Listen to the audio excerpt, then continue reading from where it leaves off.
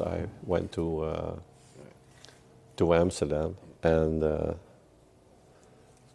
yeah, and went into a squad, and then we started playing music on the street. We found out like, okay, we don't want to play music people like. We just want to, you know, try to find something new. And we stopped the band.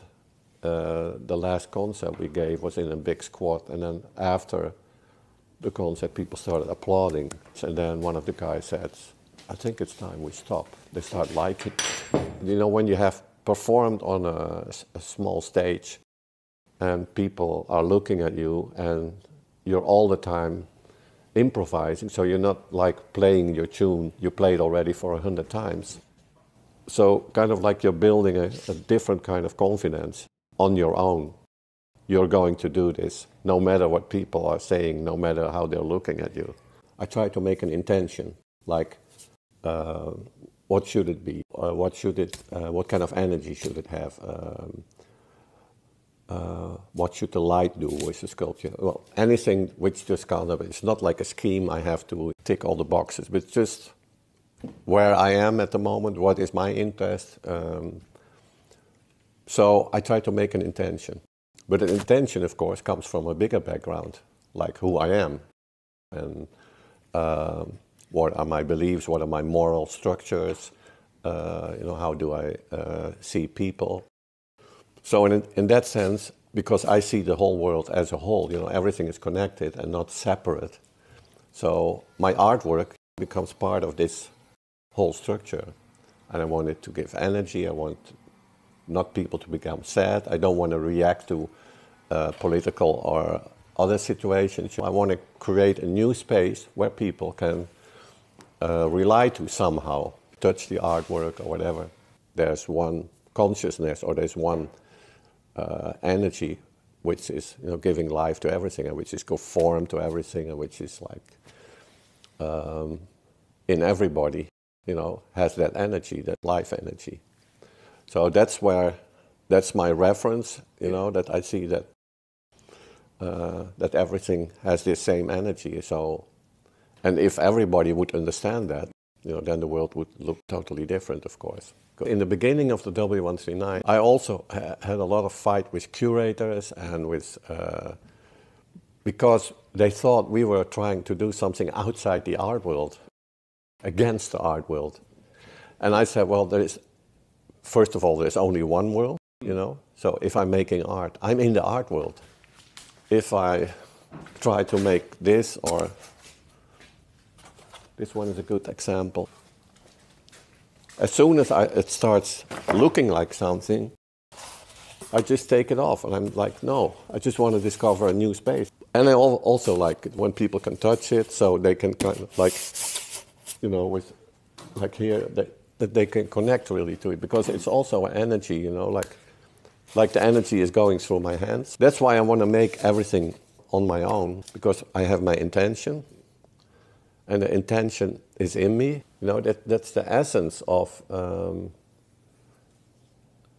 like, I made a note of that, so I'm going to pick that up.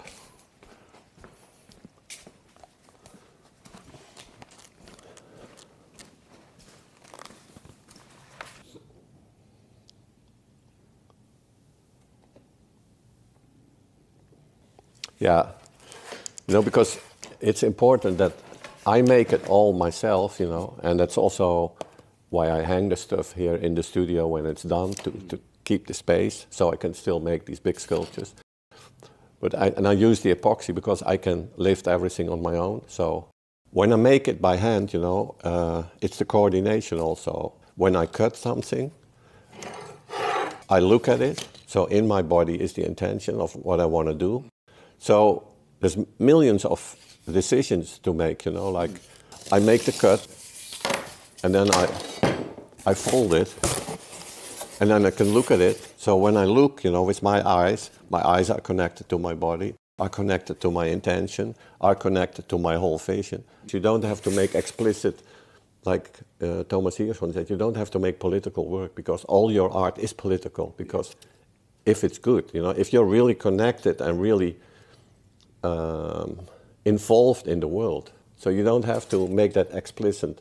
my idea for art is, you know, to make a new way for how we can live, how we can think, how we, how people can become themselves. You know, there's so much freedom in yourself, but you have to find these spaces, and I try to encourage that.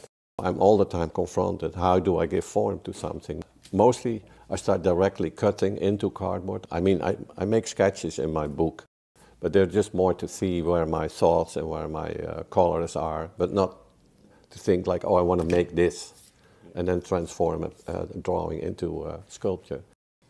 It has to be not the opposite of where we are, but in the new space, it has to be uh, outside of what we can imagine or what we can think of.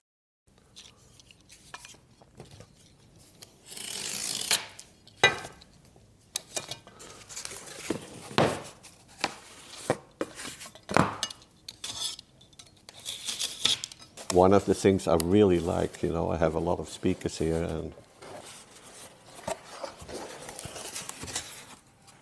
usually some uh, easy Indian music, some sitar music, just you know to start the morning really in a pace, and then when the it starts, it becomes more techno or drum and bass or whatever. No, I have a whole list of favorite DJs and. See now I'm folding in a way that you can experiment easy, you know new forms.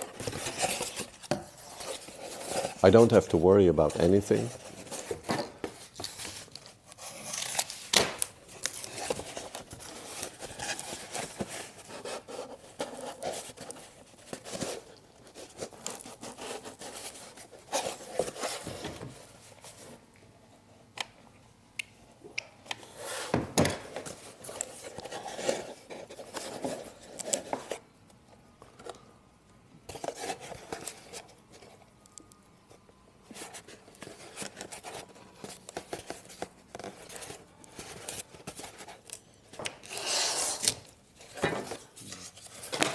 So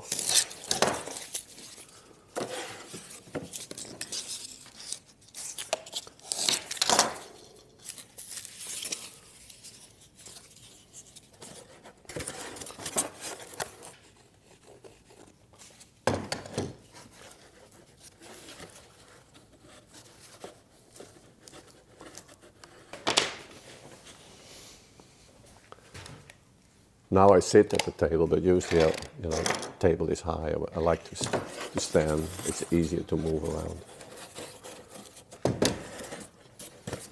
And also, I don't gain that much weight. don't get fat by sitting all day. Once a week, I go running with Jana. I mean, not really fast, but we go to the park.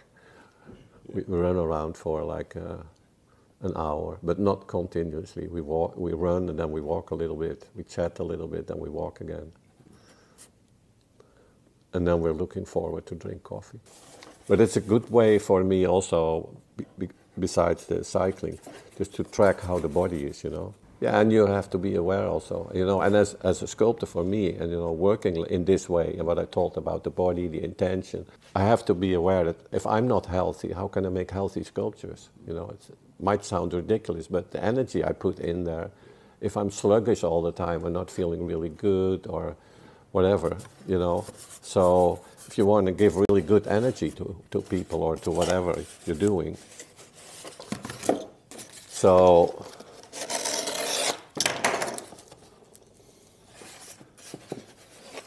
So you see now, and then I have to decide like what is going to be the outside.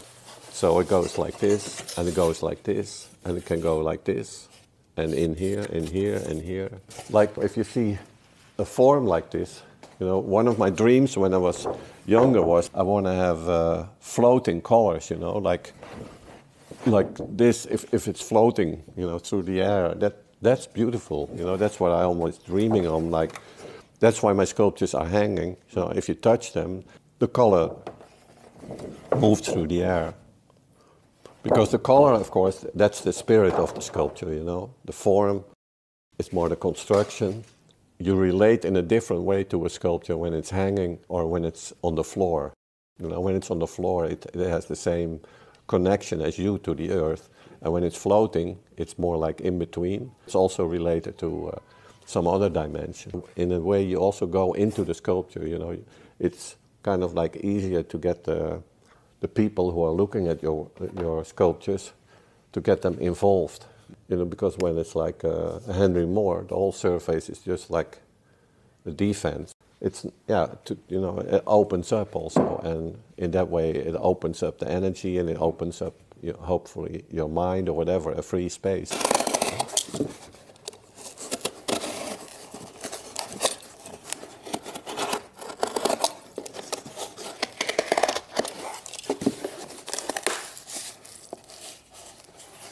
You put the energy in a sculpture, big or small, you stay with the sculpture. One of the important things is don't fall in love with the sculpture. Because if you really, if you fall in love with it, you know, you start to focus on one thing, which is like, oh, it's really nice, it can hang like this or something. So you forget about the rest. So I have to pay attention to the whole sculpture all the time and focus on just giving, you know, from the intention, the same energy all the time. And when I'm not able to do that, then usually it doesn't get to a finished sculpture.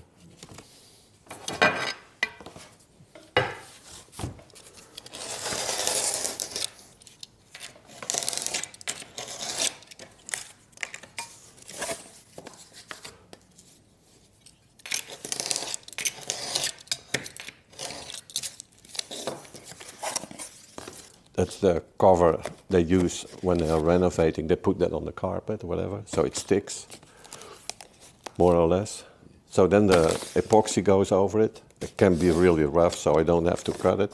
And then exactly after like six or seven hours, depends on the temperature, I come back. Sometimes it's in the middle of the night because when I put the epoxy on at 12 noon, you know, I have to come back at like seven o'clock. But if I do it at six o'clock, I come back at night one o'clock. And then it's still soft, so I can cut it and make all the holes. That's also for the big sculptures, so I don't have to sand or do these ugly things.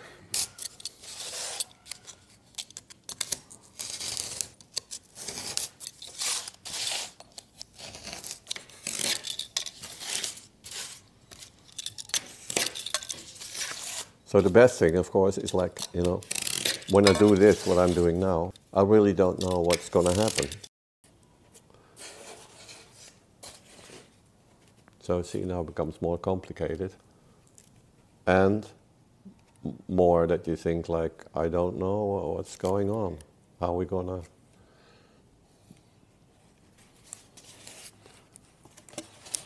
But then, of course, this is only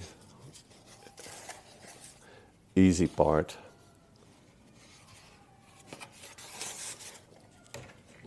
But a, a fun part, but then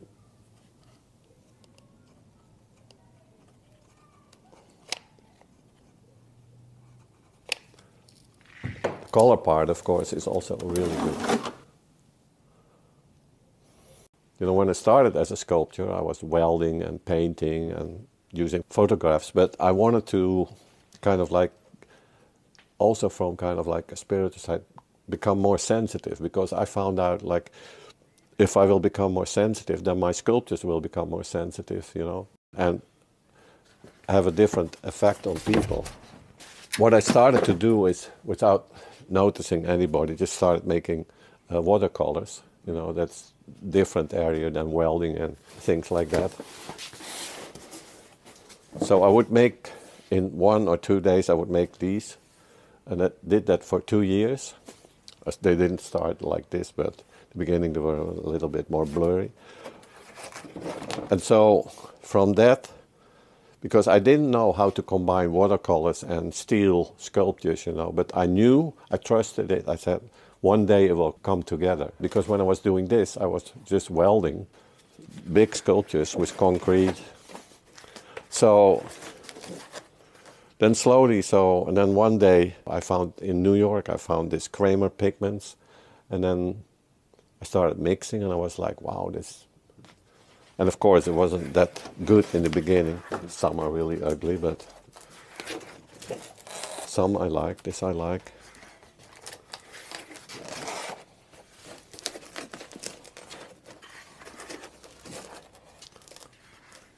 and also because it has this fluidity, which can also be in the. I'm not that far yet in my sculptures, but I'm getting closer. I want to keep my focus, but I want to keep my focus on the details. So for me, it's important because I make these big sculptures you know, all the time about big movements and about uh, you know this red, this yellow. But I want to go this far that at the end, you know, maybe what I mean, last sculpture was almost successful and more successful. But if you get closer to the sculpture, I want to have more details. I want to have more things going on.